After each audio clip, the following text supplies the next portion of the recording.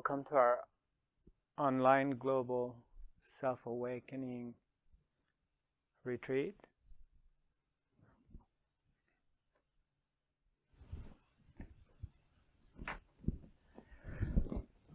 This is our day nine.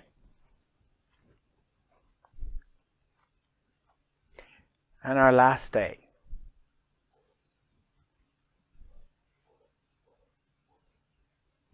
And we had an incredible time together. It's been a beautiful journey.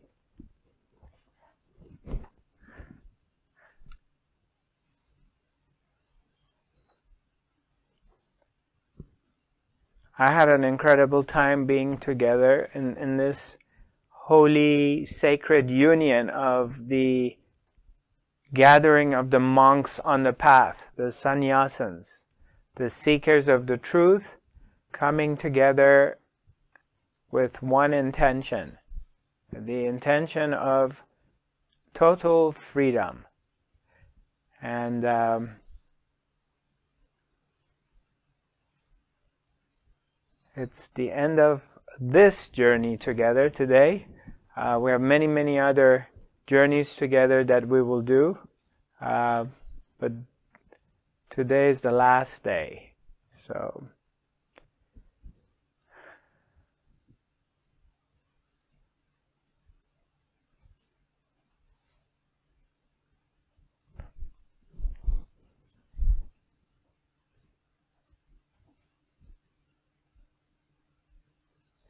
We will have our academy this coming Wednesday, uh, same time from 10 a.m. to 11:45 a.m. Uh, California time.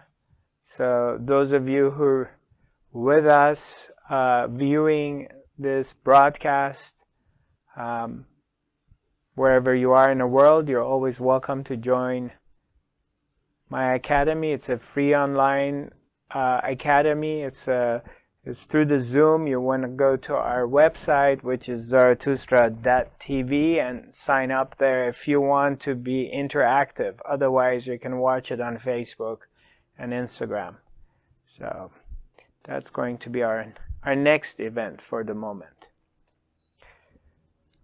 All right. So how are we all doing today?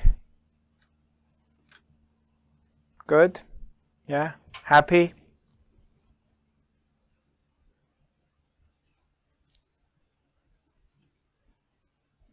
Anybody would like to share anything before I start?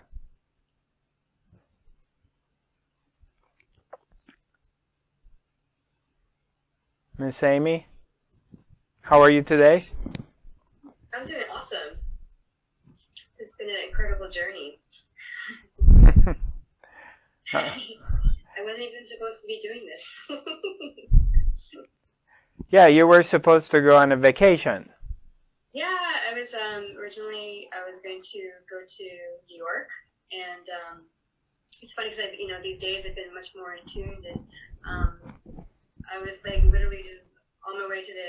I was on the airport, and I went to the gate, missed my flight, and I was just gonna change my flight with my sister, and I, I just I was just my, my intuition just told me not to do it.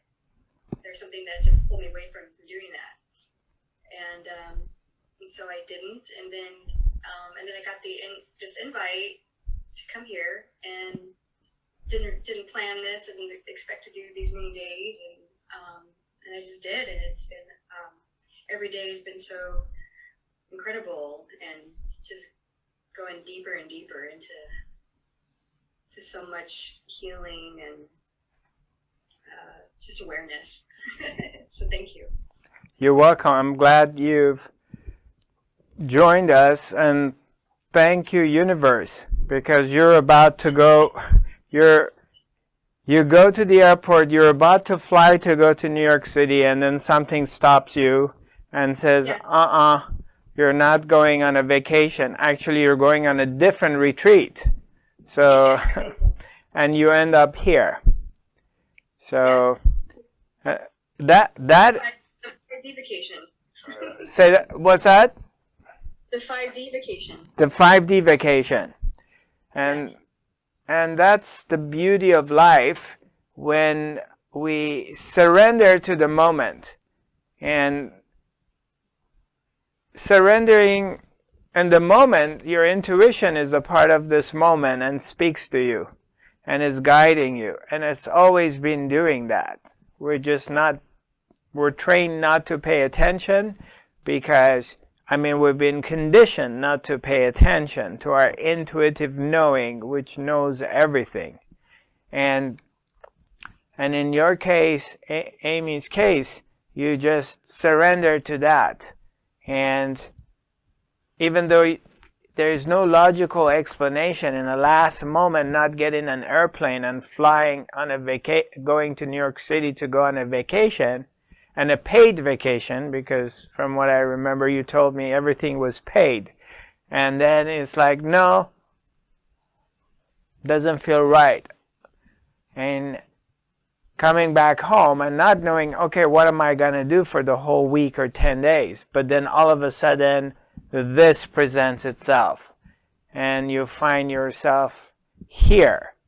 And uh, and you receive whatever you've received that according to you it's been a lot there's been a lot of value to it so and what what's interesting is because this happens to us all the time in life and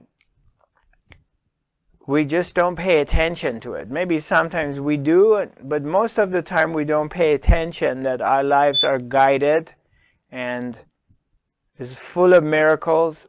Just the sheer being here of being alive, and that is a miracle by itself.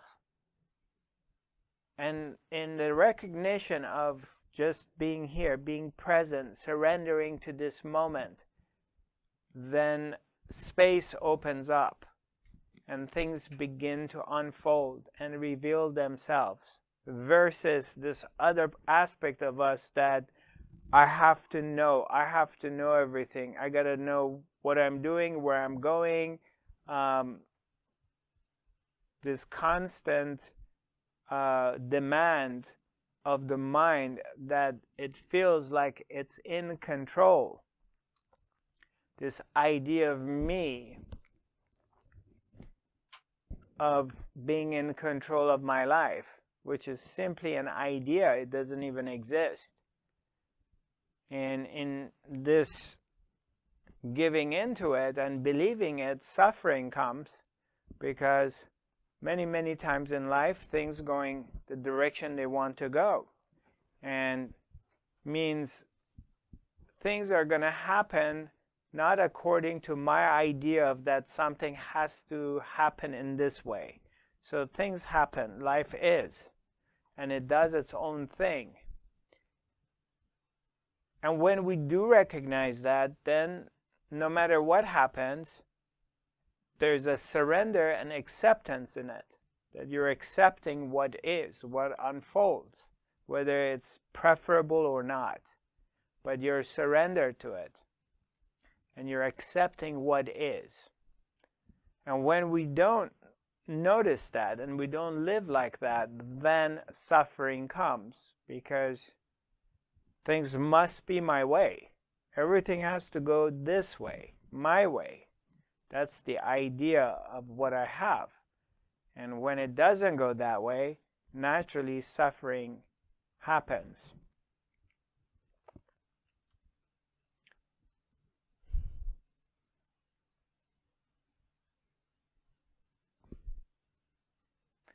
Suffering happens to an idea of a person who believes is in control of his or her own destiny. That's an idea too. The I thought, I am someone separated from the source I am separated from everything else.